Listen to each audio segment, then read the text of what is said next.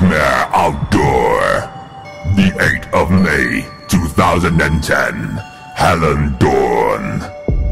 Jack Nightmare-Outdoor.com.